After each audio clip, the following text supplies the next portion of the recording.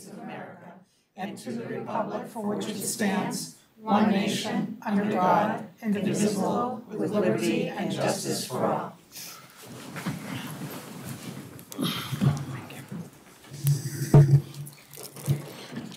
This meeting is being live streamed by Chelmsford Telemedia and posted to the Chelmsford Public Schools website for interested community members to access and watch.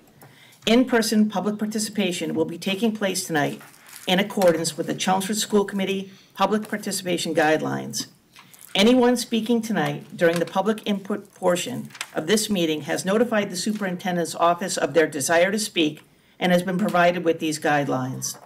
Upon request, written comments received no later than 12 PM on the day of this meeting will also be read and made a part of the record of the meeting during the second public comment session. Are there any members of the press here tonight? All right, welcome to tonight's meeting. Our first order of business is to approve our minutes. I make a motion to approve the minutes from our meeting on February 27th. Second. Okay, any questions or concerns? All those in favor? Aye. Five zero. All right, um, next up, we have our Chelmsford, uh, High School representatives. Welcome back. It's great to see you. I'm die to hear about the luau. The Y2K cultural event. The Y2K cultural event hosted by the Black Student Union happened on Saturday, March 9th and was a huge hit for Chelmsford High School students. Chelmsford High School is also engaging in its reaccreditation process as identified by NEASC, which is the New England Association of Schools and Colleges. They have been touring the school, stopping into classrooms, and meeting with students to learn more about CHS. And also, the CHS Wellness Fair took place on March 6th, and students in grades 9 through 12 took time out of their day to visit numerous stations to have their blood pressure checked, learn the proper CPR technique, sample food and tea, take a turn in an impaired driving simulator, hang out with therapy dogs, and much more. Also, on March 6th, the junior class had their career exploration breakfast put together by Miss Cunningham. Students got to meet two professionals from careers that interested them, all while being able to indulge in a complimentary breakfast. I got to meet with two engineers, and it definitely was a great experience and opportunity getting to dis- discuss and ask questions about their careers. And this week is our House Olympics. Each of the three houses, Emerson, Hawthorne, and Whittier, compete against each other by participating in spirit days and events. The winning house gets a trophy and obviously bragging rights. Yesterday was our House Colors Day, so the colors red, blue, and green, and an art competition where students can submit a logo and a slogan that they feel represents CHS. The winner will have the opportunity to design one of our lovely walls at school. There was also a dodgeball tournament after school, and our winning team came from the class of 2025, my class. and today was Luau Day, and an eco cleanup took place during our Pride Block. And after school today was a disc golf tournament. And in case you're wondering what I wore, I wore late to school today. And tomorrow's theme is Cultural Day, and during Plus Block there will be a robots race competition and the students versus teacher hockey tournament at the Forum. If you'd like to watch, it's two dollar entry fee. And Thursday will be Pajana Day with family food taking place during the school day. And during lunch, there will be karaoke and Just Dance. After school will be our grade versus grade basketball tournament with the winning team playing the teachers. And lastly, Friday will be our Gold Spirit Day with student performances during lunch. And next week, class selections will be taking place. So, junior class representative speeches will take place on Monday and Tuesday, with an election on Wednesday and Thursday for any potential runoffs. And on April 2nd, the Student Council will be running their annual leadership conference with adults representing the law, medical, financial literacy, college, and business panel fields. This event takes place on a half day, so students will have the opportunity to have a catered breakfast and attend three panels of their choice and have the chance to hear, ask, and learn a tremendous amount from leaders in the various fields. Great, thank you. I have a question. So normally you have a spirit week during, uh, like around Thanksgiving? Um, yeah, that's during like our pep rally, so we have a bunch of spirit weeks actually. Oh, really? Nice. I like that. a lot. Nice. And it sounds like it's, A lot of spirit. there's a lot of spirit. Um, Actually, I will say that when uh, we uh, had a chance to meet with two of the people from the um, NEASC committee, um, they talked about um, the student pride. Um, They were very impressed with the number of students at the high school who really exhibited, you know, pride for their school and their community and their involvement in a variety of activities and um, whether it be clubs or sports or whatever. So they were very impressed with our student body. Yay. Yeah. Great, thank you, both. All right, I'm going to turn it over to you for any good Sure. news. Some um, good news. So Um, like you were speaking about, our NEASC committee is at Chelmsford High School. This is the accreditation committee that is going through and meeting with teachers, small groups, groups of um, administrators, uh, visiting the classrooms. So that seems to be going very well with all the spirit that's happening at Chelmsford High School. So I'm sure they're enjoying the excitement that's there. Um, last weekend, um, Dr. Lang and myself got to see Annie Kids. That was by Parker Middle School. We didn't see all the performances, but we heard they were all amazing. The one we were at was exciting, and they did. The kids did a great job. Um, very well attended. Couldn't even get a seat if you didn't get your tickets ahead of time. So that was great to see, and that's what we have for good news. Great, thank you. Oh, you have good news too? I do. Go, you go first after you. Okay. I, we all have good news. This is great. Uh, last week I participated in community reading. I read to two classes at Center School and one at Harrington, and I really enjoyed doing it. I've done it before as a retired teacher coming back, but this time was the first time I was able to do it as an elected official. So I talked to my, the kids about my, you know, continuing interest in the schools. Um, kids were great. I, well behaved. I really enjoyed doing it. I did, as part of, when I finished up, ask all the kids if they had any comments or questions about what I did with the school committee. And I did have one third grader who asked if they could have after-school activities at the elementary school. So I just told her I would pass that on. But, uh, I mean, it was great, I enjoyed it, and I really say thank you to the parents or the people who run that and keep it going, because it's really a nice event. I did get bumped out of one of my spots because um, Officer Ozzy could only come the time I'd signed up for, so I had to switch my days, but I did that for Officer Ozzy. Nice. Nice. It's really a choice. I don't. Yeah. I just wanted to quickly say this is actually a Byam relevant update too. So um, uh, in, I don't know if anybody had seen the announcement that the sidewalk project uh, for Maple Road going all the way to Westford um, in South Chelmsford is is going to ha- is at least went to the Senate for approval. So it's a three hundred fifty thousand dollar project to extend sidewalks all the way from the Westford border into um, all the way to the Byam. So it's going to get all the way to the front door. So we might actually have some kids that don't have to pay for the bus and can walk finally. So I'm super excited for that. But uh, that should happen hopefully someday soon. Yeah. We'll just get on Paul about it. That's my only good news, though. Thank you. So I did participate as well in community reading. Love doing that every year. And I went to both Element to uh, Center and to Harrington. Uh, both were great, great things. I love it. It always rejuvenates me. The um, second thing is because you mentioned the wellness fair, uh, and I'm the person who goes to the wellness committee meetings. I just wanted everybody to know that this year was especially challenging because it was harder to get folks to participate from the community. And so I want to especially thank the members who did so much work for this. Hannah Barker sat all through the Wellness Fair as the greeter for our committee. And she is a parent liaison. If any parent out there is interested in the Wellness Committee, reach out, please do, because uh, it really is an incredible committee that only meets four times a year. The folks in the, Katie Sims and Stephanie Quinn were absolutely amazing as the leaders of the committee again. And uh, we cannot thank Peggy enough, Peggy Agump, uh, because it was part of her grant and her very hard work that we had the folks who did participate. And that finally, a shout out to Nancy Antonelli. She was, and her staff fed all of the people who did participate from the community. All right. It was yummy. I attended as a, one of the other vendors. The food was good. Yes, very good. She did a really excellent job. So thank you to everybody there. It was hard this year. Thank you. Dennis, anything? Good. Okay. That's a lot. All right, anybody else? All right, thank you. All right, so we don't have anybody registered for our pu- first public input session? We do not. Okay, so moving on to new business. Great. So the, we have a couple of presentations tonight I'm really looking forward to, um, to hearing. Um, First, we're going to hear from the Byam Elementary School, so I'd love to invite um, Principal Jason Fredette and Betsy Dolan, the assistant principal, up um, to talk a little bit about uh, Byam, some of the work that's taking place um, this year at the school.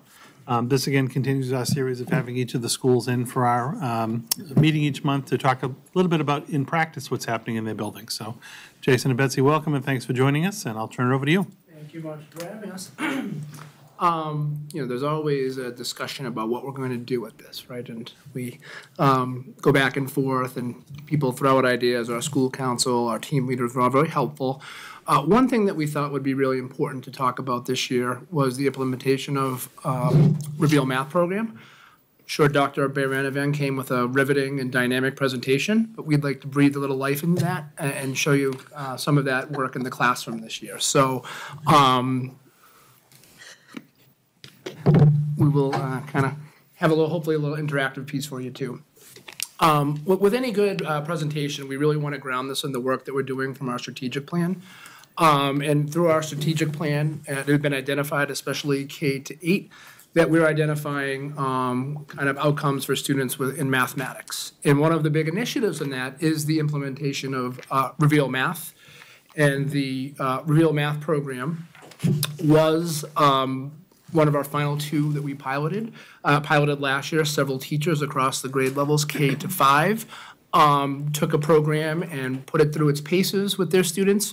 And um, the Reveal Math program was really the odds-on favorite and did have um, really a high preference towards that program. Uh, Hopefully, you'll see a little bit about what we show you and why that's the case and and how we've seen the impact happening. With the um, Reveal Math program, I think it is built on all those great pieces of research that we like to see, but there were some things that really stood out to us during this, um, not just the pilot process, but the implementation of it too, is that um, it really does go beyond kind of just the rote math skills. I think it really lays good foundations for what that, uh, the application looks like in real life. Um, I think it's also, what we really liked is that that it has um, a lot of different components that um, really woven through throughout the, the, all the grade levels. And that it really um, strives to have um, students come out with a mathematician mindset. And I think that's really important. Um, it's the first really kind of program in mathematics that I've seen that really takes um, you know, a really kind of good look and an effort to implement a lot of social emotional learning into it around, um, you know, whether it be anxiety around math, taking chances, um, having an opportunity to um, kind of change your mindset about being a mathematician. And I know most of us who teach elementary or had taught elementary got into that for one reason.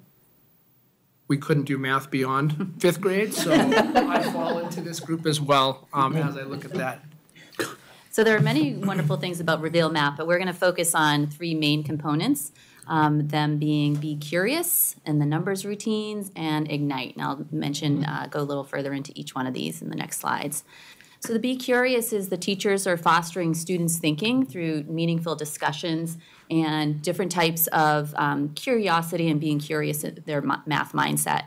Um, those are these four notice and wonderings, which doesn't belong, is it always true, and numberless word problems. And you'll see um, some examples of this in some of our clips that we have that we'll show you tonight. Oh, I'm on.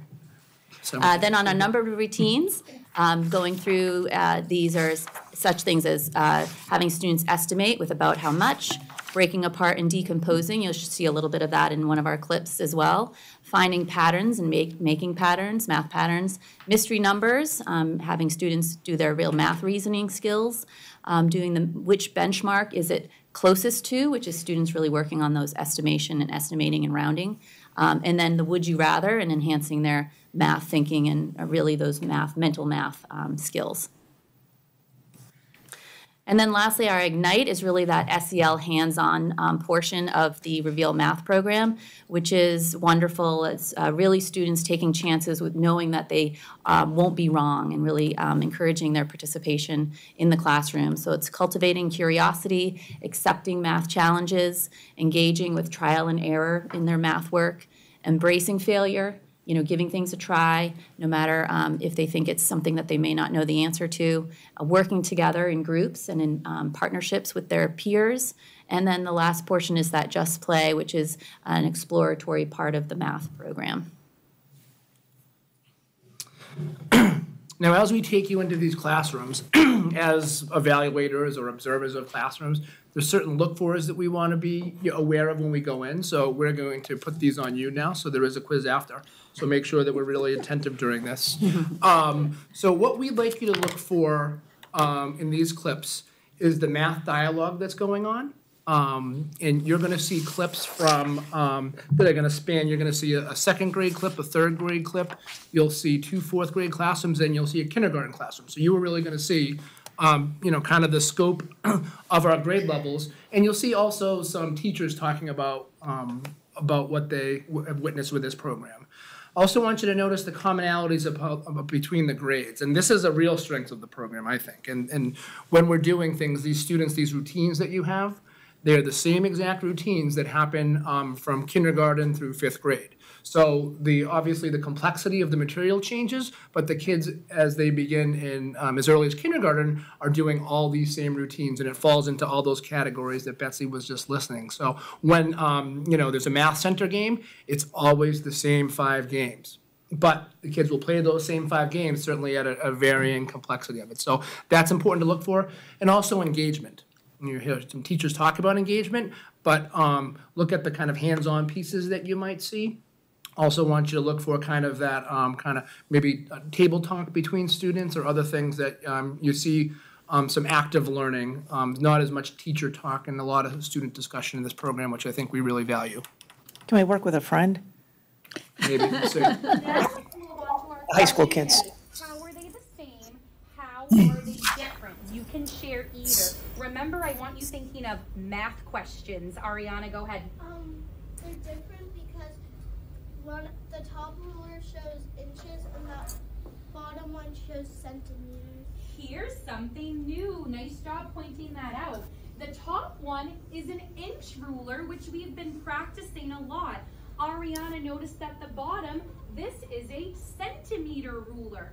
What's bigger, inches or centimeters?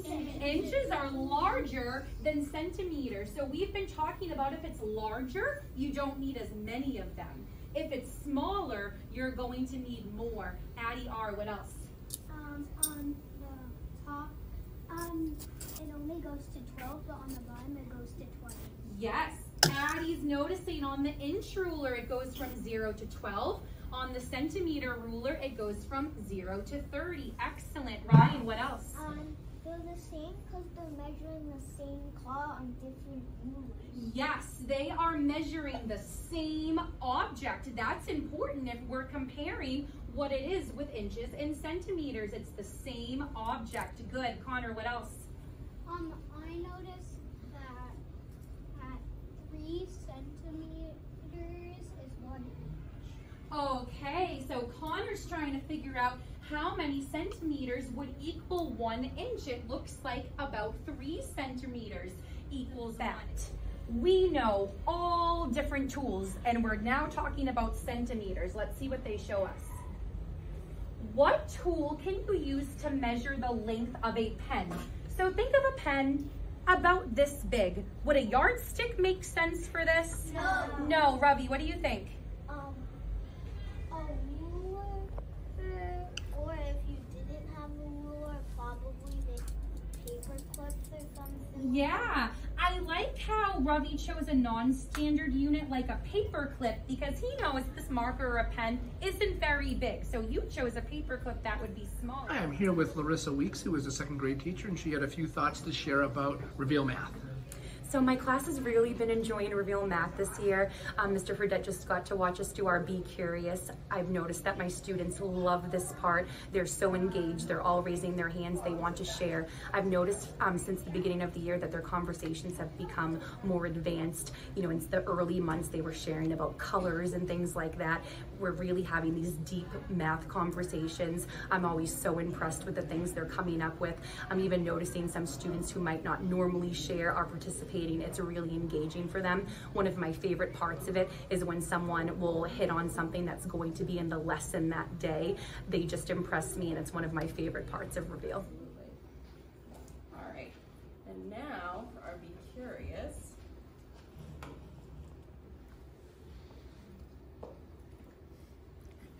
All right, so our Be Curious today says, is it always true?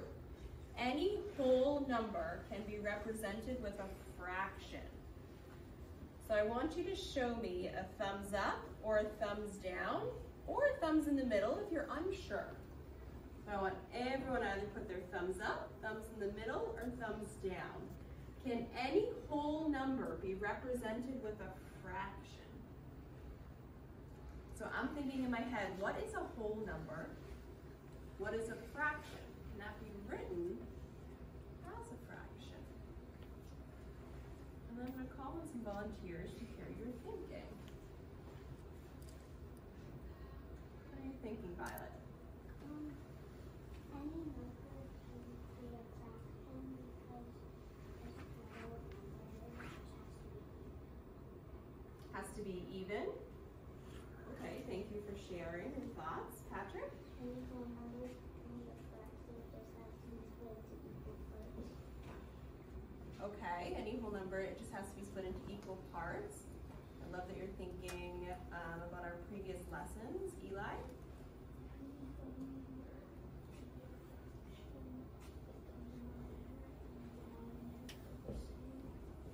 Any fraction can be a whole number if the numerator and denominator are the same. Awesome, I see some I agree signs. Thank you for sharing. Anyone else? So we're thinking of a whole number, any whole number. So any whole number could be the number two or the number 1002. Can both of those numbers be written as a fraction? Awesome, and that kind of ties into our lesson. So what Eli mentioned was our lesson from yesterday or from last week, um, where we talked about how the, when the numerator and denominator are the same, like this, so if we have four fourths, that equals one whole. But what about when you have four wholes? So have I'm here with Miss Malcolm, who uh, you just observed in a third grade classroom. Uh, Courtney, can you tell us a little bit about, um, we saw in your um, lesson, we saw the end of a um, number routine and also then a be curious routine. Can you talk about how those have progressed over the year with your students? Absolutely. So when we first started, especially with the Be Curious, um, I've noticed that the responses would be a little bit more like superficial, like they would notice the color or just how many of the objects there would be. Um, but as we've progressed, I've noticed that they're applying like previous mathematical skills that we've learned that they haven't seen before, and they're starting to tie it into what the lesson might be. So they're starting to think of um, just the different mathematical practices that we use. So they're they're using a lot of like um, the critical thinking skills that we want them to see in third grade at this point. And how would you say that differs a little bit from our previous program? You did teach with the math expressions. The math expressions, I would say, didn't um, offer a lot of time in the curriculum or the pacing for us to kind of have these questions and have these conversations with the students. And I've noticed especially the students that tend to struggle with math are the ones that will raise their hand for the Be Curious. So it's really nice to hear um, their higher level of thinking because they're not ones that will typically raise their hand often in a typical math lesson. in three ways. We should hit hit well. Yep, you guys have some great ideas. Great number. Great number ideas. Awesome. Okay. Mathematicians. I am going to have you go now and turn and learn. It's gonna go off any second, I bet. You're gonna turn and learn. This is not a real alarm, this is a timer. Sounds like an alarm though. Learn To your math partner and share with each other, show each other your different, the different ways that you de- you decompose this problem. That's Okay, let's go, two minutes. The future of your business is here. Oh, oh I like what I'm hearing. Well, well, you gotta make sure you talk to your learning partner. I did, um, I don't my first thing, I was thinking it was six. Okay, three, two, one. You gotta put the. Okay. Yep. Let's see. Wait, I thought. Here. There. Decompose seven tenths.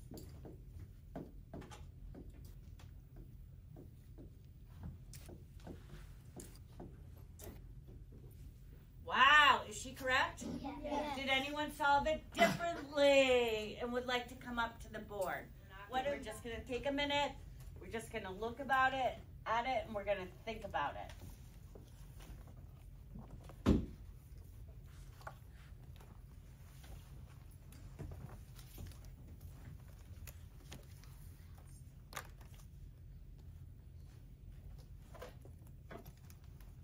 Hmm. Very interesting. All right, Replay it one more time.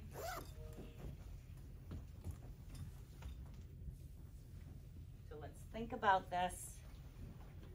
Think about math and how it can relate to this. Be curious task. Oh, I like how I can see Abby's thinking already. Hmm.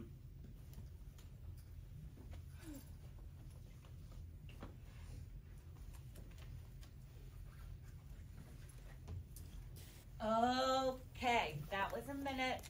These are, this is what I want you to think about, okay? How would you describe each pattern block in the representation? How would you describe each pattern block in this representation?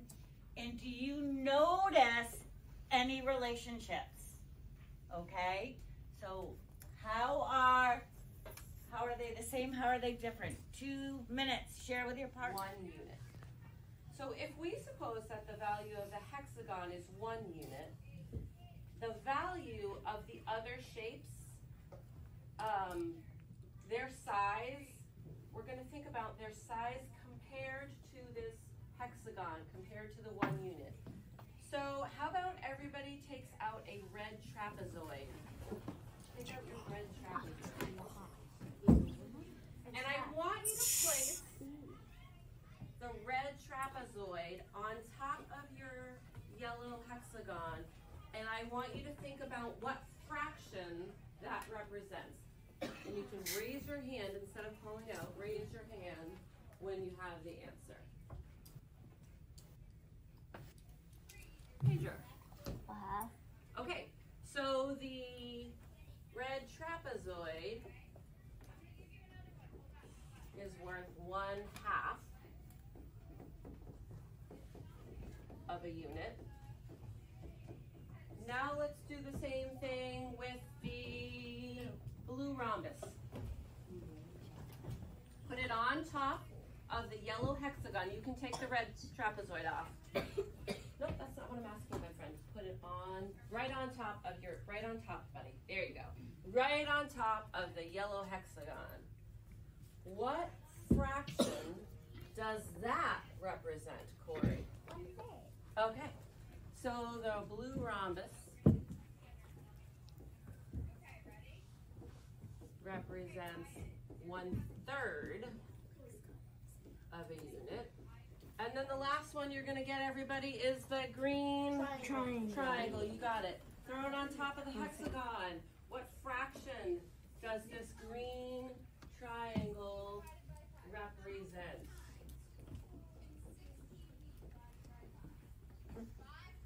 Add half numbers. Not half, not without finding equivalent fractions, right? So if you wanna get out your whiteboard and calculate that, you can. Look You at can add half a third without making equivalent fractions first. I made it. I It's exactly four.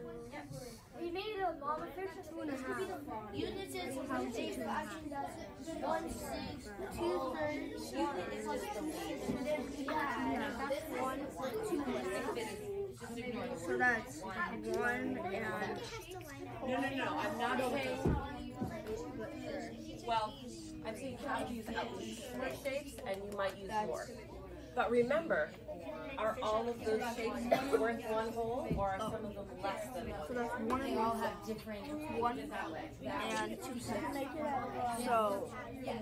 I know. Four units. Add Yeah, this gonna do some designing and All right, thank you, Miss Jackson. So if you could just share a little bit about what you've noticed about the Reveal Math here in fourth grade. Yeah, I today we worked on the Ignite um, for Unit 10, and I just feel that the Ignite does a really nice job introducing the concepts of the lessons that follow. And in particular, something like this does a really nice job um, of marrying the strategy with the use of mani- manipulatives so that all my students, regardless of their skill level in math, get some really nice hands on experience. Great, thank you. She said if we break apart two and three, then if we put them back together, it will make five. Okay? Anything else that anybody notices about this or wonders about this picture? What do you notice, Matt? Um, if you take away um four and you break apart the one off it, then if you combine them together, then it would equal five. Yes. Yes. Yep. Mm-hmm. Okay. Anybody else? Um, the, the breaking apart numbers, there's space between everything, and it so when you break it up, it's easy to tell that they're they're broken up because there's there's space between it. And when you have when you have it breaking up, they're in different columns, and then one, and then when you put it back together, it equals ten because you take them apart. Okay. Yep. This picture has five, but yeah, we did ten just a few minutes ago. Um. So we really want to thank our teachers. A couple of highlights before you go back to your part and when when we ask you all the things you observed, um, is uh, these aren't, we're not unveiling here a dog and pony show. We really threw it out and just said, we're going to be coming through and, and videoing. We didn't say, we're coming in at this time, I want to see this, make it look good. Um, and that's, we really wanted it to, to feel genuine because it is, this is what we do see on a daily basis when we go through classrooms. Um, so I did want to highlight that. One other thing I wanted to highlight too, and, and around the engagement part, you noticed a lot of this platform is very different than what we had, right? This platform is certainly very um, online based. And one of the things that I know teachers really appreciate, they do have all these routines, but teachers can really have some, um, you know, kind of some say in how they present that. It allows you, all these lessons come in a slide deck, so that you can actually move these different portions of the lesson. Some people say, I want to do that Ignite first. Some people like to start with the Be Curious, but they can kind of, um, from lesson to lesson, and even, you know, from classroom to classroom, um, customize that a bit. And I think that's been a re- a real strength of it too. They do like having that kind of customization of it. Um, Betsy, anything you wanted to add on kind of your No, I think, yeah, no, I think that, that, that, um, we tried to encapsulate through dif- different ages, as you saw, we ended with kindergarten, sort of those youngest math minds, um, uh, sort of what we see throughout the, the weeks, and, um, it- this is uh, replicated in other, you know, all of our other elementary schools with this, this Reveal Math K to five, which is great. Yeah. Can I just make a comment that um, I learned about thirty percent of the things that I didn't know. So, Those kids, not to say that a fourth grader is smarter than me, but I definitely learned a bunch of stuff in that section, so very good. Very different than we learned math. No, it's definitely different than we learned math, yeah. But the concrete. I would have been a fourth grade math teacher, that's what I think I'm saying. Not going higher than that. Just as we, as we look back, we wanted you, and, and just teasing unless you ha- do want to comment on this. Just some of the things when you go back, um, and, uh, look at the math dialogue, hopefully you saw some rich dialogue and heard teachers talk about how that's progressed throughout the year. Very true, right? You hear these, I'm noticing, and, and, and using kind of math terminology. Um, the commonalities between the grades, you saw those be curious in different grade levels. You know, certainly much more. You hear fourth and you're like, wow, am I, what am I thinking here? You're right. I do have to pay attention. But even our kindergartners talking about breaking apart and decomposing numbers like they were doing that in the other grades. Um, and then the engagement. I think we've found this pro, this program to be en- engaging. Hopefully you could see that in the kind of different presentations that were, different styles. Um, there are certainly math stations and things that are also a part of this.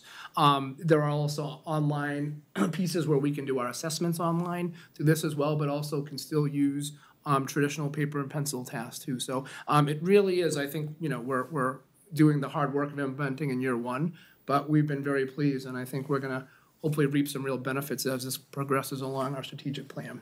It looks great. Thank you, everyone. Yeah, and certainly any questions we can take if anyone has any. Any questions or comments? I was, I was just gonna ask, it, it seems like the teachers were very enthusiastic, and Susan, any feedback from the parents? I mean, they're the ones that at home, you know. Oh, God. Yeah, learning math the different way, and now they're. Yes, yeah, yeah, I think, I, I think it, you know, I think they've at least been indoctrinated to that for a little bit, right? That, that real math switch, we've been doing that for years, our, our, uh, past program, Dennis said the same thing. But I think they, it's gonna take a while for them to kind of feel that difference. There, there are some distinct differences. I think when teachers, um, and we used Math Expressions for quite some time because we had a, um, second iteration of it with Common Core. Um, I think as they get more confident and comfortable too, you know, kids will hear more about it. But I think they do, the routines are great and hopefully some of these discussions come out around, um, you know, when we're talking about math and kind of looking through that kind of math lens throughout the world. I know, you know, my daughters are hate it when I come home because I'll ask something very specific and I don't get an answer because I'm just curious how things are going uh, when you, you know, in the same grade levels that you kind of are part of. But um, it, it'll be interesting. I think when we, after year one, I, I could see certainly some um, pieces for us in, in, in sharing that more with the, pa- the parent and the family community because I think uh, teachers always want to feel comfortable and be the experts on it and it takes that year of implementation to feel that way. Uh, Thank you though. Anybody else? I, I think that this kind of program is very important going forward because the way it's, people are talking, the students are learning to talk about math. And I think in the old way, it was more you do it in your, your head and you show the result on the paper. And now it's, okay, let's talk about it. It's really important to do that because that's how we're going to use math and are using math now every single day um, more and more. And if you can talk about something, usually you understood it. So moving forward. So I think it was last meeting or the meeting before, I talked about um, one of the teachers at the middle school who is having a parent group that uh, joins the, her every month or every couple of weeks, and they're learning the math themselves now so they can help their students. Um, has there been anything like that asked by parents to do anything at the elementary level?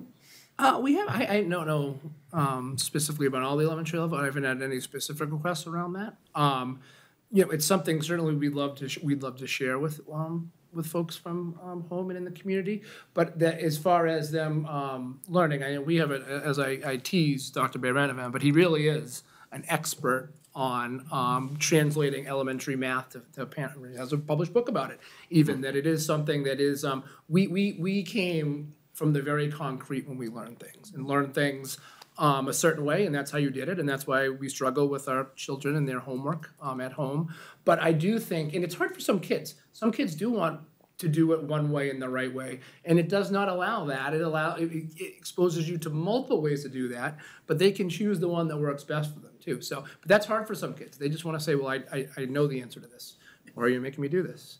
And it's about the kind of conceptualization of all that kind of all those skills. But hmm. yeah, it is. I think it. I think it opens up as we think down our, our strategic plan as well. Like part of this math, I think sharing kind of this because I, I you know, I think we we we have pilot teachers do this. Mm-hmm. They feel good about it, but then there's certainly always some trepidation around implementing something brand new. And I think when we like, I'm feeling just kind of these conversations we've had with staff beginning of the year to that their comfort level with now, and then they do it year two all over again, and, and can really kind of um, tighten procedures and kind of explore pieces of it. Um, I think down the road, you know, sharing this with the, you know, the community is certainly a great, and what I'm hearing is certainly a, something that we'd love to do. And is the response back from staff that they basically have enough professional development at this point, or? So we've, uh, for um, the way it's broken down, we've really done all of our kind of um, building base uh, uh, stuff has been around in the area of um, DEI, social emotional learning, um, and all of our um, department days for elementary has been math. So we've, we've invested quite a bit in this, and then that's going to be layered in next year as well. We have math time as well, and I know we've embedded a lot. We have um, our math coach come by and meet with teams separately too. And almost when you're doing this, they don't know what to ask yet right? You kind of like they're unit to unit and they're learning that unit for the first time. And as they kind of get that scope and sequence of it and figure it out, I think we're really, you know, going to be able to have um, even some more kind of pointed PD next year where we've kind of had people. Um, it was almost in a two-track thing where we had pilot teachers and then kind of an expert group join and do a bit more, and we had somebody on each team join that, so they became um, a little bit more of a um, kind of a consumer of this and have really hopefully been, um, you know, lightning rods for the people in their team so that then they had kind of the other basic level. So it's been thoughtful the rollout of the PD, but it does continue into next year. And we know it doesn't mean that ends going. Um, New programs do need. Thanks, Susan, did you have a comment? Yeah, I just want to comment I'm really glad to see the resources that this has for teachers. I mean, I happen to have taught under math expressions. And math expressions did deal with the strategies and the decomposing numbers and all those things that were part, part of the, um, Common Core. But if you wanted to add any of these conversational things, teachers had to create those pieces themselves. It wasn't that you couldn't do that with a lesson, but it's really nice to see that it's just made things much easier for teachers to do it on a regular basis, seeing that it's a true part of the program. So I think that's only gonna help. Dennis, did you have anything? Nope, I'm good. Well, you scared me so much with the look fors that I actually took notes. Let me hear it, then. you gotta it. Yeah, we gotta hear it. No, I really thought it was, um, I thought it was terrific. Um, I really thought, um, the teachers did a really nice job. Yeah, me too. Um, you know, connecting, uh, the current lesson to prior lessons. Um, I really liked, uh, what one teacher did, um, around, um, having the kids thumbs up, you know, thumbs in the middle or thumbs down.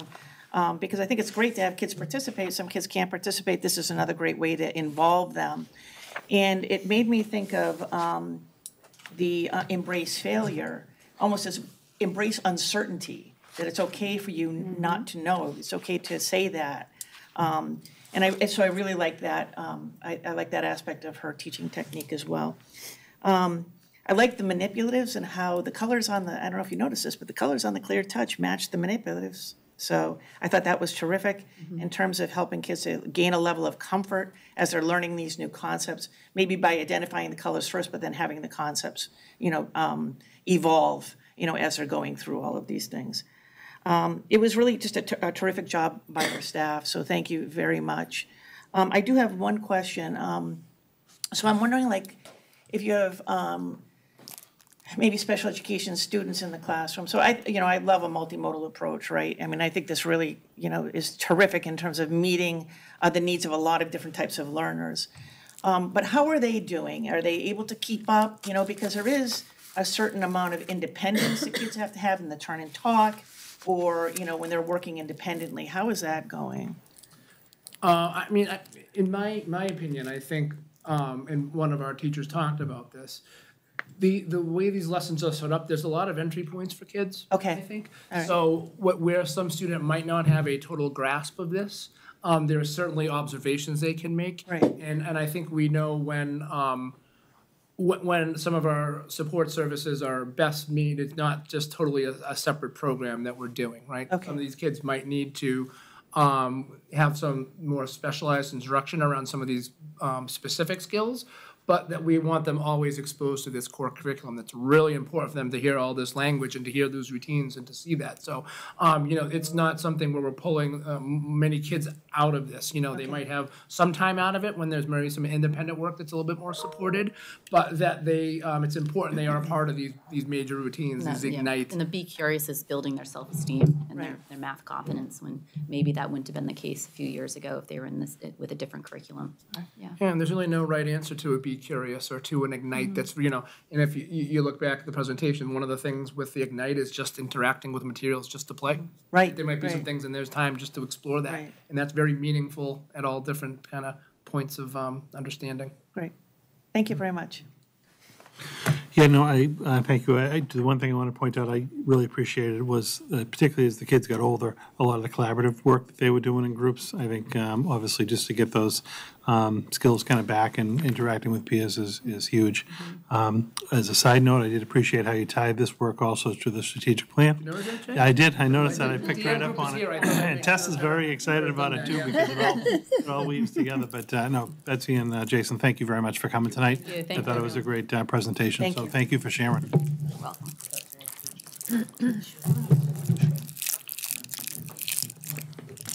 And we're now going to transition to our second presentation of this evening.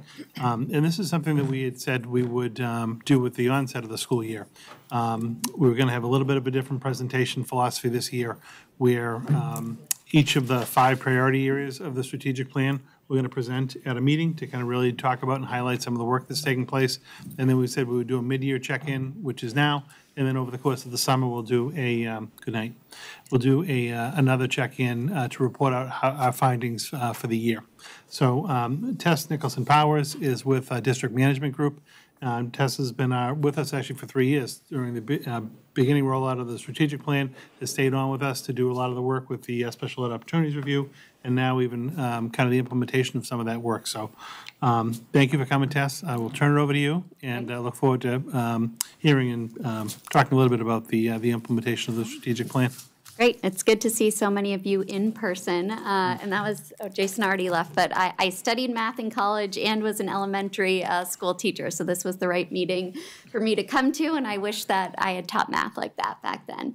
Um, but anyway, so yes, I'll be talking about the strategic plan. And I just want to say, you know, you see it up there pretty, but really the strategic plan is living in the buildings every single day. And that's what we just saw at Byam. Uh, Jason talked about that math priority and why this new curriculum was implemented. So I'll give this summary, but just wanted to say this is certainly living in the district. Um, I did add just a couple slides on the process. Wanted to first just uh, thank all of the people who have been involved in not only the creation of the strategic plan, but implementation from school committee members, district leaders, school leaders, and others, all assigned to a specific area. Uh, and how we've worked this year, there's been two phases. So we use the fall really to take a look at the data from last year. So where were goals met, uh, where were goals not met, what initiatives do we need to implement to ensure we meet those goals, uh, to refine, refine those specific action steps. And then since October have been tracking progress on those initiatives. I know you've heard from each of the subcommittees in a bit more detail, um, but just making tremendous progress uh, overall. Uh, and just to give you an idea of how we work throughout the year, so every six weeks, uh, the steering committee that you saw comes together, uh, and we work with that group to progress monitor, holds everyone accountable, uh, that every six weeks we come together, talk about the work that has been done in between with those subcommittees at the bottom, uh, aligned to each of the priority areas. So this very intentional working structure make sure that the strategic plan does not only live within the school committee or district leaders, but is really funneling down to the schools, leaders, and staff who are part of those groups as well. Uh, and I didn't record one of our uh, progress monitoring meetings like uh, Jason showed you in Byam, but did just want to give a little overview of how we spend that time. Uh, in those uh, every six week meetings, we have a very specific discussion protocol to make sure that everyone can understand uh, progress towards initiatives across the priorities. Uh, other groups have a chance to ask clarifying questions or get feedback, problem solve on anything they need to. Uh, and then we wrap up and talk about what next steps need to happen in the six weeks to make sure we stay on track. Uh, so this has just been uh, an incredible way to ensure that the strategic plan, five-year plan uh, action is happening every day and checking in every six weeks. Uh, so wanted to add that just as the process, but getting now more into the content. So this is the framework that Chelmsford used to develop the strategic plan. So you have your mission, vision, theory of action, priorities, and goals where we are right now really is in this implementation phase, making it come to life. Uh, and one other thing I wanted to call out is just through the strategic planning process, of course, has set the priorities and really has started to lead budget choices like adopting Reveal Math or investing in the math specialists and interventionists, uh, which is exactly what we'd hope to see is uh, those investments aligned to strategy. So I think Chelmsford has just done a great job, again, making that strategic plan come to life in the many ways a district operates. Uh, so just grounding, you all know this uh, in the mission and vision that was adopted. I'm not going to read it to you, uh, but that really is where the strategic plans plan stems from. Uh, You have your theory of action, which is really grounded in district leader direction, making sure principals can create conditions and culture in their schools. I think we saw that uh, in Byam today.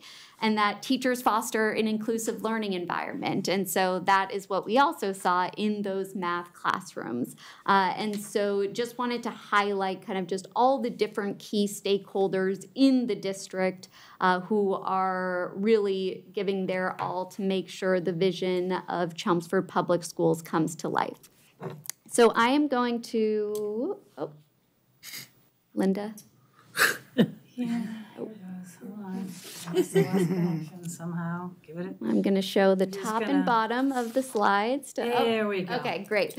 Uh, So I'm going to go into a little, a little more detail into each of the priority areas now. Uh, So starting with academic achievement. Great. Uh, So I know you have this, there's a lot here, but just to ground us, so we have the metrics at the top there. Those are the measurable goals that were set aligned to the priority areas. And then the short list of initiatives uh, that the team is working on aligned to that priority. Uh, We know that if we try and do everything well, we'll do nothing well. And so you'll see this throughout the priorities, this short list uh, of initiatives this year. So just want to call out, and we showed this in the summer, uh, in the academic area, hit on third grade, both goals surpassed. Uh, Really, you can see the focus there is eighth grade math, and that's why we've been talking about those math investments. Uh, But all initiatives on track uh, to implement the new curriculum, work on iReady, and just make sure that students have what they need to be successful, especially in math, as we've talked about.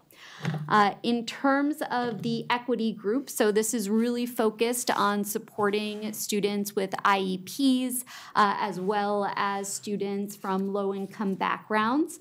Uh, You can see here, they met a lot of their goals and actually surpassed quite significantly some of them. So we had to revisit some of the 2024 targets to make sure that, uh, and still are, to make sure that the target is not lower than where they actually ended up in 2023, uh, but also some targets that were not met. And so this has allowed the team to really focus on those areas. Uh, and I always say if, if everything were green, we probably weren't aggressive enough. Uh, so very understandable to see this uh, and excited to see the results at the end of the school year.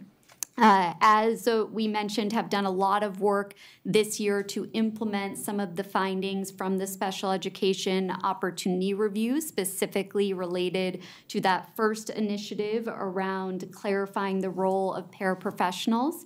Uh, So I'll give a more uh, in-detail update at the end of the year when we wrap up that work. But we've been working actually in this room uh, with a group of, from superintendent to school leaders to paraprofessionals, teachers, really diving into that role to make sure uh, that they are supported uh, and that students are getting the support that they need. Uh, Going on to, oop, we missed one? Oh, social emotional learning. Uh, so you heard that uh, Jason talk about this as well, even embedded into the math curriculum, which is great. Uh, last year was all about laying the foundation of implementing Panorama, getting that baseline data. Uh, so you can see those top two metrics are really the focus this year, trying to increase those percentages around students feeling a sense of belonging. Uh, those bottom two around uh, students feeling they have supportive relationships just saw great baseline data. So the team chose to maintain, is aiming to maintain those scores for this year while focusing on that sense of belonging through the below initiatives, uh, through DEI practices, PD, uh, and really thinking about those transition years to make sure as students go from school to school, uh, they are supported and still feel that sense of belonging, but very on track here. Uh, and then going on to human capital, last year was also a year of gathering a lot of baseline data. Uh, so if I draw your attention to that 2023 actual, uh, you can see baseline data uh, from teachers and staff.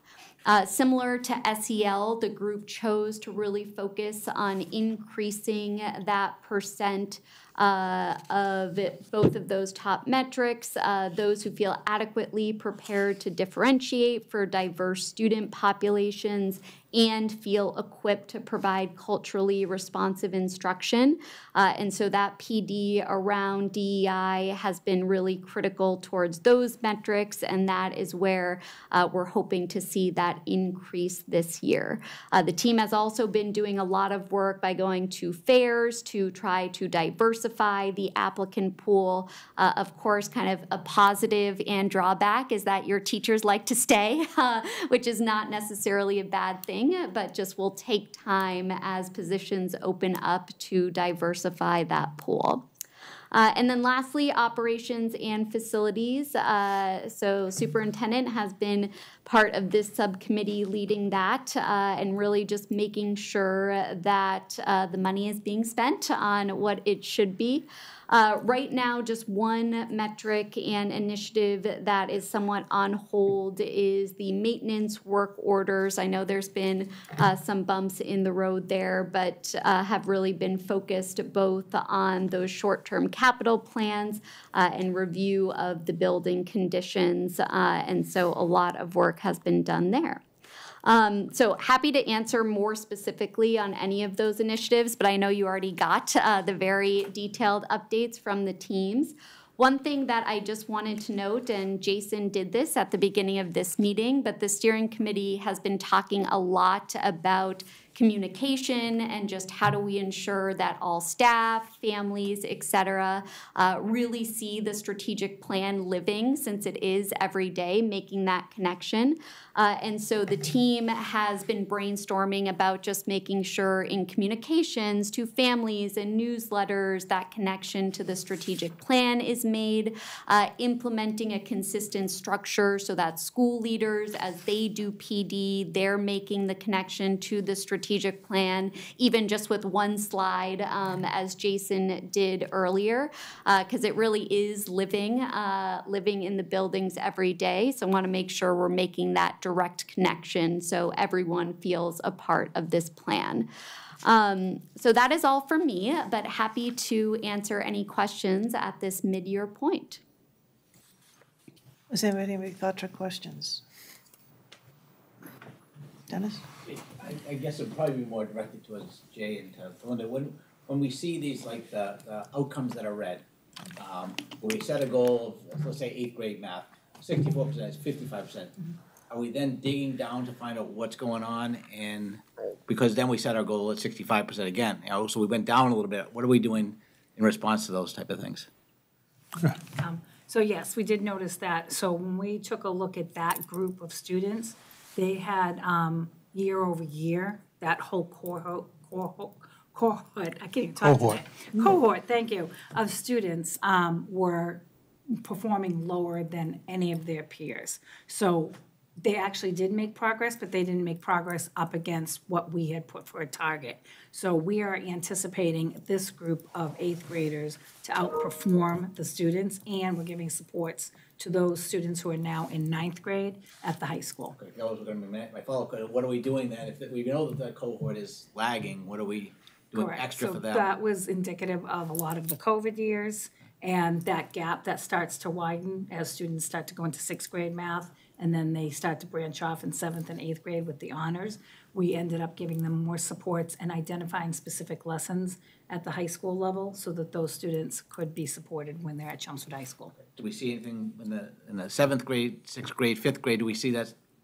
Is it, It, it ebbs and flows, right? So it's, it, it's a matter of um, looking at, well, right now, we've combined the schools too, so it's a little more difficult for us to dig into it because some of them may have been at one school over another school. So we're gonna have to look at some of those outlying uh, factors as we look at this next group coming in.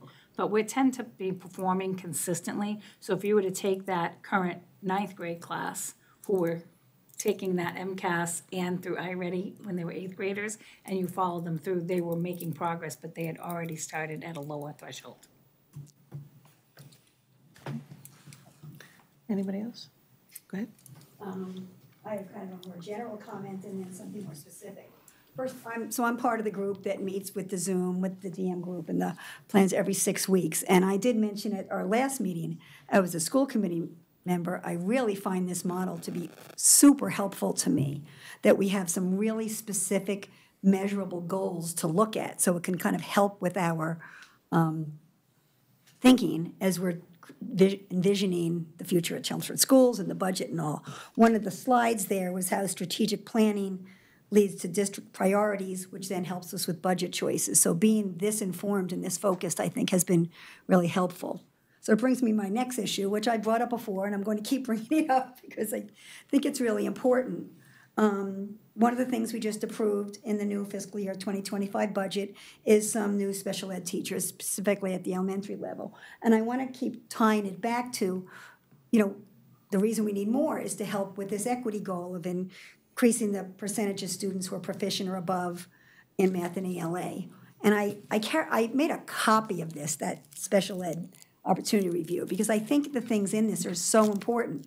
So that, I just wanted to speak up once again that I really am looking forward to hearing what the outcome of the equity group is in defining and clarifying the roles and responsibilities of paraprofessionals. Because we hear in the meetings that they're having meetings and that they say they're on target, but we haven't yet really heard what changes might come about because of that.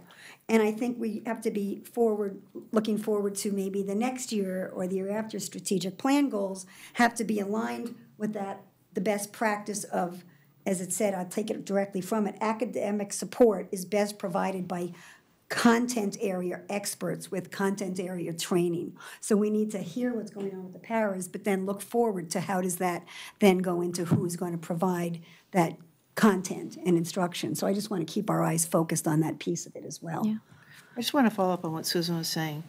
She said it much more articulately than I will. Um, So over the course of the year, you know, we've had the updates, and now we're seeing this mid-year review. And it is, it's hard for, you know, me to pull all the pieces together. So I was looking at the initiatives, and I was wondering if there could be something included in there around what action steps have been taken, because I don't know. Um, So, I'll, you know, give you an example. Um, It says that we're going to continue to implement uh, district data dashboard panorama uh, to improve database decision-making. Like, who's doing that? You know, how is it being done? And then are there parameters, you know, uh, that we've set, you know, that are, you know, of concern, that are going to kickstart a process for action or some type of intervention? And what are those? You know, so I- those kinds of things, I think, you know, it would be um, helpful to me to kind of round out my understanding of what's happening in the subcommittees and what um, action steps are being taken and how those action steps are moving us closer to being able to meet our goal. Yeah, and each, so each initiative does have its own action plan with more of those detailed steps, timeline, and then we rate, you know, you saw the initiatives overall on track, off track, Right. Et cetera, but each action step within that has on track, off track, et cetera, and that's what we review every six weeks in the meeting. Um, so Jay and Linda, you know, I think we can share those, especially if there are specific ones uh, that you're curious about, but all those more specific actions do exist. Yeah, I just think it'll help, um, at least for me, um, my understanding of, you know, you know, what's happening in these committees and what, what the process is. Um, Because, like I said, this is an excellent report, but it's, it, uh, it leaves me with a lot of questions that I think you're right could probably be answered through those other reports. Yeah, I mean, we- we're trying to kind of find the, the balance of presenting like the higher level. Right, um, What's right. been happening with the district, but when you do get into the individual um, of the five areas, there is a specific plan under each one and different action items and steps. Right. We can certainly share those with you. I think on a, um, like a public level, we're trying to come up with some ways to, to educate, um, you know, parents and community members and others that could be watching. Again, high level, what's happening with the check-ins. I do, I have gotten good feedback about the committee meetings where we've had each of the priority, priority areas report out, so that kind of is more the in-depth. Um, I do think the, kind of this, um, global review twice a year is gonna be helpful. Um, those other documents, they, they exist, there are working documents, we certainly can share them if you wanna get a little deeper. Um, a lot of that work is really the, the focus of the work with the subcommittees when they are together. Um, So do- it's finding that happy medium between what is going to be good for everyone. Um, We did have a, a talk, as Tessa mentioned at the last meeting, about um, really operationalizing the strategic plan and trying to be very deliberate in um, talking about our actions and how they actually tie to the plan itself. And like Sue, you mentioned with the budget. But we look at like the two big areas that we actually um, added some funding for some positions this year were around the math specialists, particularly at the elementary grade level, and again, special education to help with that equity achievement gap of our special ed students um, growing higher than we'd like it to be compared to our general ed students. So we really are having our dollars and our budgets align with this uh, plan. And then ultimately, in the end, we want to assess, we want to see where we are. Were our targets too great? Were they too low? Were they uh, pushing us enough? Um, So that certainly is happening, but we can um, certainly share those other documents with you, and if you want to, if people want to get deep into them, they can. And if they want the surface level or the higher level, they certainly have those as well. Maria or John, did you have? Um, well, I've been part of this whole process through, from the beginning. Um, and I think I understand what you're saying, but when you go to the subcommittees and you sit at the subcommittee level, then we go through all of those things. That's why, and I've come to the, to the conclusion that in many ways, I have to trust what's going on at each one of the, um, subcommittee levels because, uh, they're doing it at the pace that they believe is going to work well within the system. Uh, For example, what you brought up, Susan, understood, um, that is part of the equity um, part of things. And it, for me personally, I would have wanted it done six to months ago. Um, But I understand why they're doing it the way that they are, um, because there are several things happening within the system that it has to be at this particular pace. I can see why.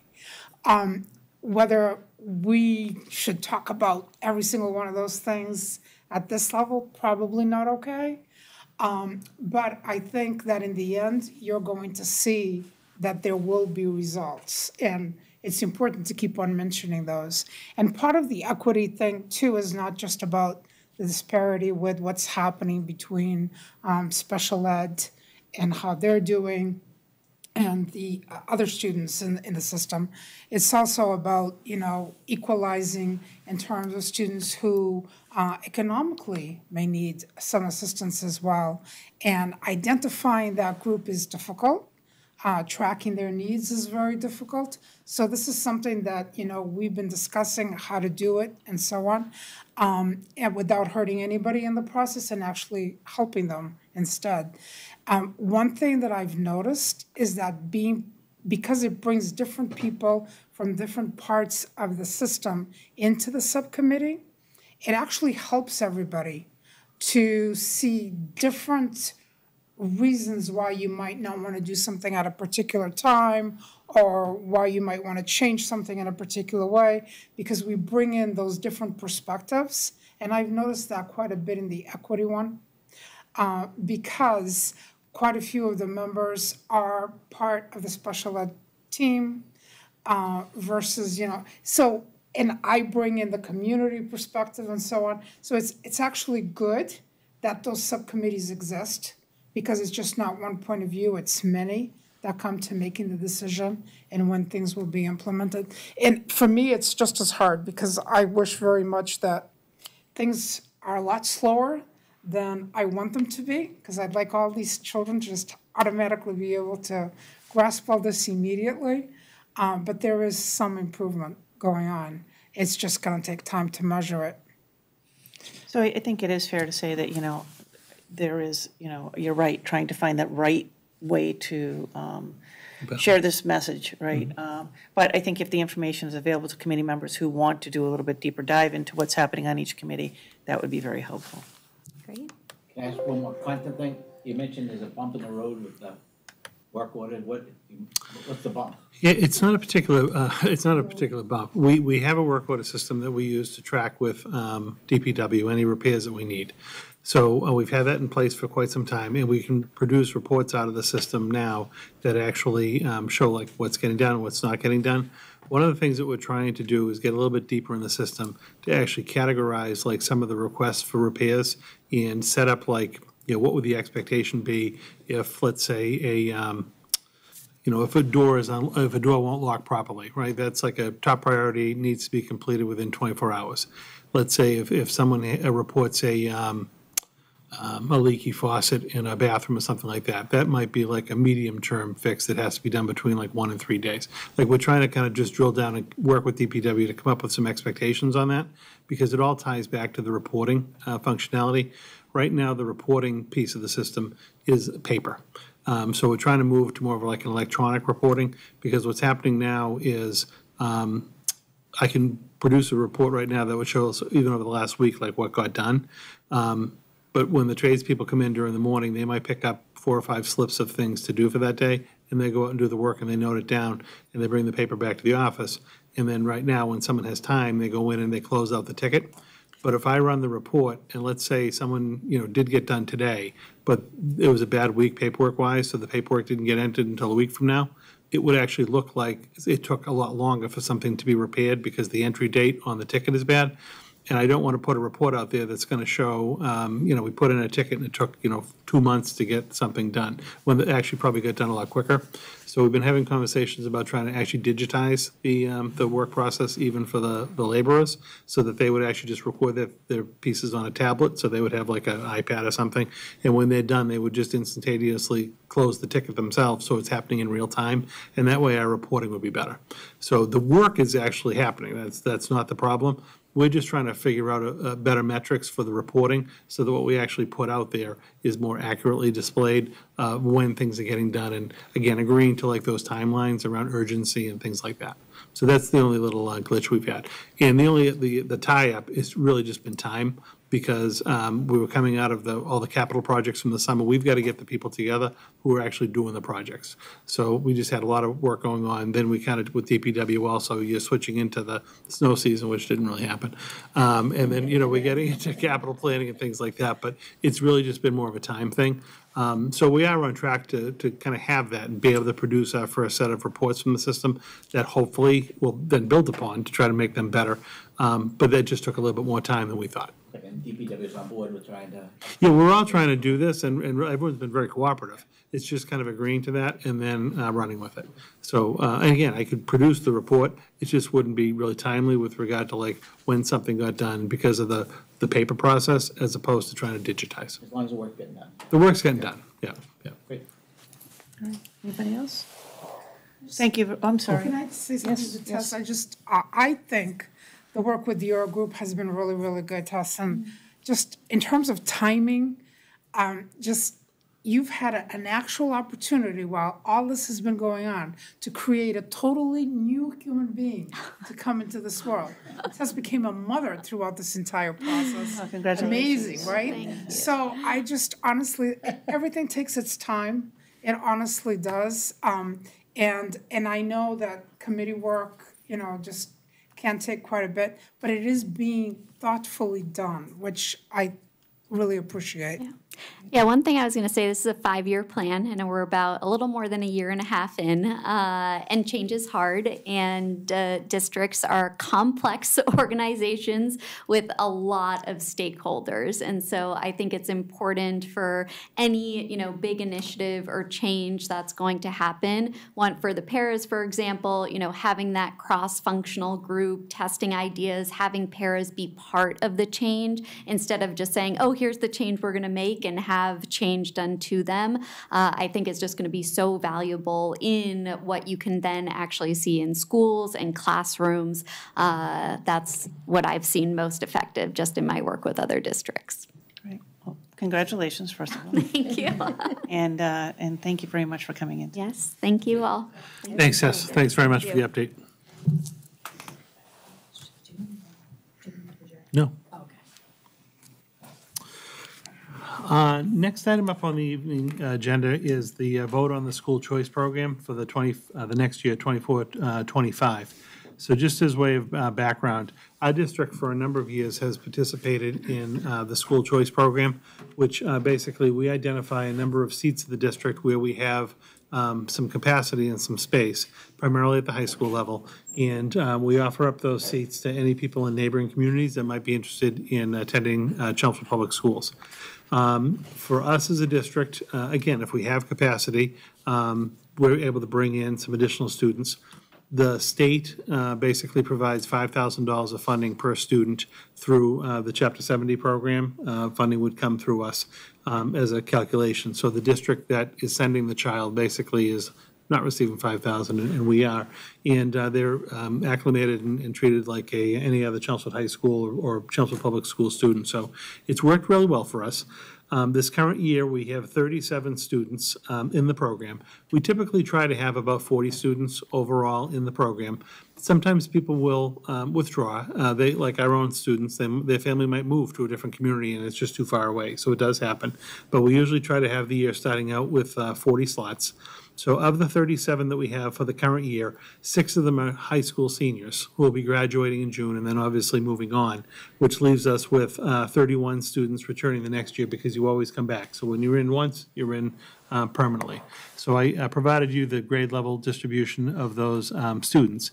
And again, primarily because we have the capacity at the, um, the high school level, my recommendation is to bring that number back up to uh, 40 students for next year and doing so by um, adding eight additional um, spots for incoming ninth grade students at um, Chelmsford High School, and adding uh, one spot for an additional incoming fifth grade student at um, Parker Middle School. Um, So those 31, adding up those nine, would be 40. Um, And when we take a look at the high school numbers, we're going to currently have two ninth graders next year already, so adding those eight uh, brings up to 10. So we have 10, we have 11 and 10th, 11 and, I'm sorry, 11 and 10th, 11 and 11th um, grade, and then obviously a smaller uh, senior class. But that's also um, easy enough for the high school to be able to schedule. It's not like you have 40 freshmen or, or, you know, or a lot of uh, seniors there. It's a good spread. Um, So I'm happy to answer any questions you have. Again, this is a, a program that we participated in uh, prior to me even coming here, and uh, we've received good, um, uh, good results from it. I think it's a good opportunity for our kids and for other kids coming to, uh, to the district. Um, So that would be my recommendation. Does anybody have any questions? How many years has it been five thousand dollars? Is it, Hmm. I mean, For, for as long as I know. Um, I don't think so. No? I mean, we- we've, we've actually asked. Yeah. And we, I think, actually listed that as one of our legislative um, priorities a couple of years back. Um, There just didn't seem to be any willingness to, uh, to really look at it. Um, Even like offline, when we've had different uh, conversations with the DESE finance folks about like different grants and things like that, um, they even acknowledge it's just an area that really hasn't been focused on. It's just, it's in there, it's in the, the, um, I don't know if it's a policy or legislation that talks about the number, um, but it just hasn't, uh, hasn't changed. So I, I, you know, I'd love it to be more, but I'm not holding out any hope uh, that it's more. The other thing is, you know, we have students from Chelmsford who participate in school choice in other districts as well. So even though we're getting, say, five thousand for taking a student in, if that increased to ten thousand and one of our children are going to another district, we'd be losing ten there. Um, so, you know, it's, it's a little bit of a trade-off. Uh, But we, we have sufficient space, particularly at the high school for next year. I think, again, it's a, it's a worthwhile program, and this would bring our numbers back to 40, and I think that's a good number to, to count on. That then gives us $200,000 of extra revenue that we can allocate within the budget if things come up where we want to, um, to target uh, resources. It's still going to the computers? Yes, so it goes to the revolving fund, and then what we have it earmarked in the budget against is the, uh, the leases for the, um, the one-on-one initiative. Do we, are there 40 students from our district that go out? How many? I don't, I, I should have known that small number number? before you asked. Do you happen to know the number? No. I can find out for you and send you an email.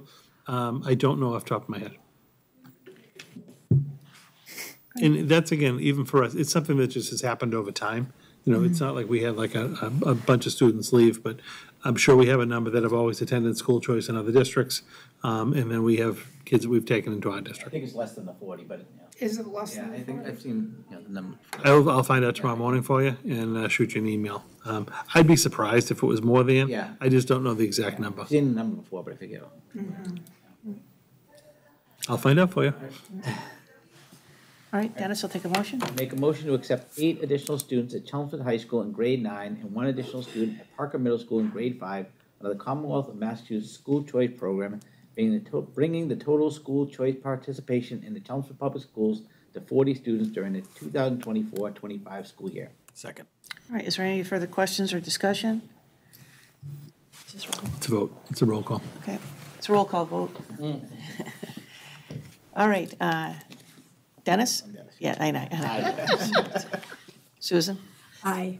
John? Aye. Maria? Aye. Aye. Five in favor. Thank you very much. I'll report back um, the the the participation and interest we receive, just to let you know. Um, Fourth uh, on the agenda under new business this evening is just approval of some uh, field trips. Uh, There are three before you this evening. I just want to call your attention to uh, the first one. Um, This is a trip you actually, this is for our um, students at uh, McCarthy Middle School to go to um, Quebec. Uh, You had approved this at the January 16th meeting, and the dates for the uh, trip had to change. So uh, the dates are moving from um, April 26th to 28th to uh, May 17th to 19th. Um, So you- we're just going to approve the, uh, the date change on that particular trip. And then we have the Theater Guild at the high school uh, looking to go to an event in Boston on March 21st to 23rd. Um, It's in-state, but it's overnight, that's why it's before you. And then trying to do some pre-planning for a year from now. Um, This is the Chelmsford High School students who are enrolled in uh, the French program. This is the Cultural Exchange Program um, in the springtime of 25. Um, That's April 16th, 27th would be our group of high school students going to France. Um, So I'd recommend approval of those, um, well, the modification and then those two new trips. One, one at a time? Uh, yeah, one one at a time, please. All right, uh, I make a motion to approve the field trip of McCarthy Middle School students enrolled in French to Quebec City, Canada, from May nineteenth to twenty-fourth, two thousand twenty-four. Second. Any questions? All those in favor? Aye. Five zero in favor. Make a motion to approve the field trip of the Chelmsford High School Theater Guild to Boston, Massachusetts, from March twenty-first to twenty-third, two thousand twenty-four. Second. Questions, concerns? All those in favor? Aye. Aye. Five zero in favor, sorry. I make a motion to approve the field trip for Chelmsford High School students enrolled in French to La Rochelle, France, from April sixteenth to twenty-seventh, two thousand twenty-five. Any questions or concerns? All those in favor? Aye. Five Feel like. Ella should take French, though. Well, this, they're starting to rotate, so this happens to be the French trip, and then the year later will be the Spanish trip. What are they gonna do for ASL learners? I don't know. We should probably work on that soon. Ah, Interesting A, a lot of kids actually want to take ASL now, and there's no associated trip with it. Yeah, I don't know, I can't speak intelligently to this. I don't know that you would necessarily have to go out of the country. I don't know if they're like different places. I'm sure there's like a fancy college somewhere where they, Gallaudet or RIT. where they like kind of, yeah, came up with like some kind of ASL type, Well, there are performances too. yeah, there's for performances. ASL, Yeah, so that's that- true. Maybe like a Right. New York thing or something. Right. Yeah. Yes, we- uh, definitely, we can look into that. It's a It's a good incentive, it's a good incentive to have kids take it. No, it is. I think the other ones, you just kind of naturally think Spanish and French, you know, Yeah, you that go to makes another sense. country, but, um, yeah, we'll have to think about There's that. experiences that they could go to have to do with the ASL. and I Like know how it would about improve the some of lives of so- people, yeah, that'd be Right. cool. It's a good idea. Um, and that's all I have for tonight on the new business. All right, thank you very much. Um, We do not have anybody registered for our second public input session, correct? We don't. Okay. Um, So liaison reports, anything additional than what people had already talked about? Go ahead. Let's see, at the high school, they're meeting tonight, um, and I can't attend because of this meeting, so they sent me a report. They did a staff appreciation welcome back from the break by leaving snacks in the house offices, the kitchen staff area, and the main office. They've two more events, events planned for staff appreciation. One will be funded by the district and the other is funded through parent donations. And they will happen over the next six weeks. They're also very busy right now with after prom planning. In the middle schools, I attended that meeting last night. Both of the PTOs were present. They had a really good showing. Um, they discussed extensively, um, creating a STEAM fair for the middle schools, hopefully for next year. They are looking for a couple of parents who like this area and want to work in this area, um, to, uh, come in and be the leads. So if you are interested in it as parents, please, uh, reach out to the PTOs. Uh, Dr. Parks reported very happily on a successful seventh grade black light stance where over two hundred and fifty students attended, which, that's wonderful. And there were quite a few parents and staff, uh, who, um, chaperoned. And then Parker had its play, that was reported, uh, how well that went, and there were two casts, Mhm. and that meant a lot to them. Um, so really, uh, kudos to that director who put that together, because the greatest number got to participate. They are working now on their talent show, Showboat. May eighteenth will be the talent show, and that is being led by a parent. And the middle schools would like to host Katie Greer. And at this event last night, um, Council of Schools was present. And so, um, Kate Fredette said to reach out to her because they would like to go ahead and fund a parent event if that's gonna happen, okay? Uh, and that's my report for that. All right, does anybody else have any liaison reports? I do. Um, I attended CHIPS PTO early last week. Um, they just did a sock drive, which they said was really cool, like a way that the kids could really participate in something that helped out the community, but they brought in pairs of socks to be donated, and they said this was really great, because even their littlest kids could kind of understand that, like toy drives they've had trouble with, the kids want to keep the toys, but they could kind of get it, that I already have plenty of socks at home, but I can donate socks for some kid who might not, so they said that worked out really well. Um, the PTO does a real lot there with help supporting the theme weeks that they have in the school. They do things in the hallway there at CHIP, so all the um, students can go through different, um, whatever the decorative things they have. But for instance, they've got an Under the Sea Week planned for um, late May, and uh, PTO helps fund having a photo booth there. So they do some nice things. They also use some PTO money to give teachers cash gifts, and the teachers were very grateful. They brought some things such as pretend play food, kinetic sand, books, live butterflies, um, new sensory equipment like sensory swing, um, and some other items. They did some garden games and ladybug games and beehive games, and but the teachers were really grateful that they have that um, money from the fundraising. Um, so great for the parents who participate in that. Their next big fundraiser is Square One Art, which is a fun activity for the kids, but it also brings in some money. Um, at Harrington PTO last week, I went and followed the advice of the strategic plan DM group, and I actually talked to them about the strategic plan and just let them know that they can see it anytime they want. I showed them how to find it on the website, and because I'm in the academic group, I just talked a little bit about that, how we're um, working on improving students' math scores, and I had a conversation with them about iReady, and I actually have some feedback that I will share with my subcommittee next time we talk. So that was really helpful, and they seemed very interested to know that we had that going on. Dennis? Yeah, I have a couple. Um, so just, uh, CPAC is gonna be holding several workshops on the new IEP.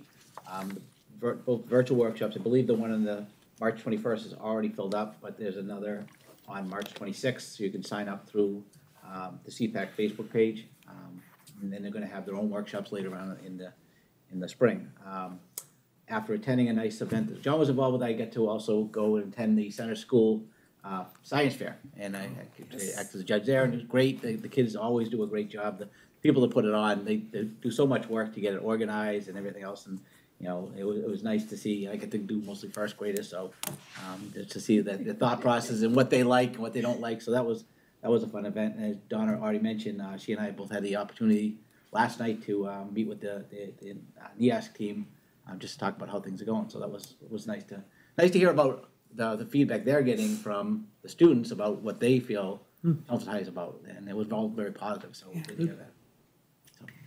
Yeah, I went to that science fair too. They had like ninety projects, Yeah, and I was very glad I only got assigned first grade. and it was down from last year. Yeah. Telling you, These these elementary kids really throwing the curve for us. Oh, I saw the most amazing thing, that Lego vacuum. Oh, yeah, that was It's great. about this big, Yeah. and it was very powerful. And I was like, this man, this, this young man could market this thing for cars. Oh, my god. Like just keeping your glove compartment to vacuum up. I was. It was Put them on it was Shark un- Tank. It was, unbelievable. it was unbelievable. It was the, the, the whole, all of them Yeah, were really terrific. Okay, um, Did you have a question?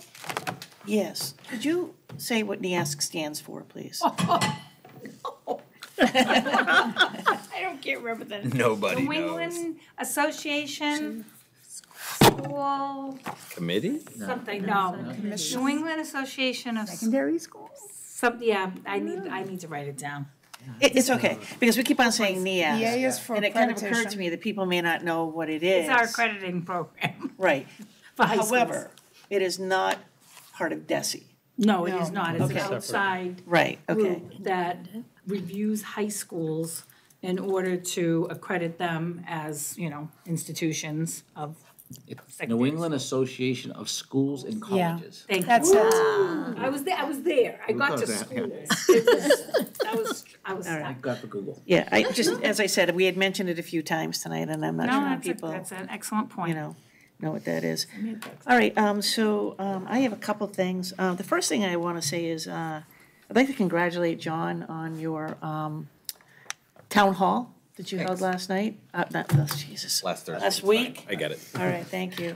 And um, it was phenomenal.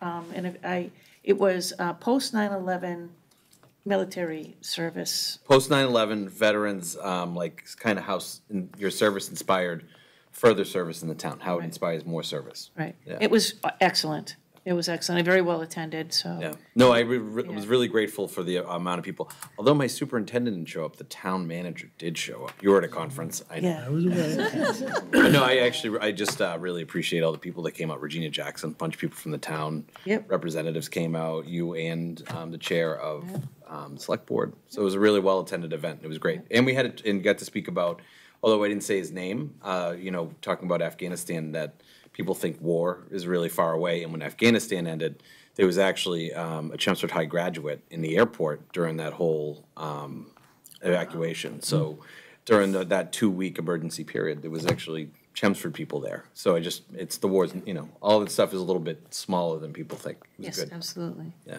So um, congratulations to you and your Thank group you. for doing that. Um, So I have an announcement from um, Evelyn Thorne from the Arts and Technology Education Fund.